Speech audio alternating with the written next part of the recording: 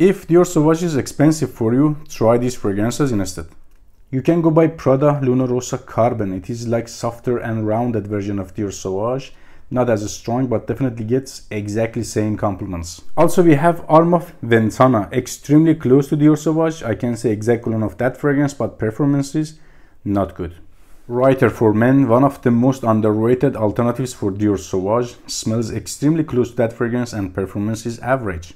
Armaf Club de Nuit Urban Man Elixir. This is not a clone for Dior Sauvage, but I can say highly inspired. You're gonna get same atmosphere and DNA, but not exactly same fragrance with a great performance.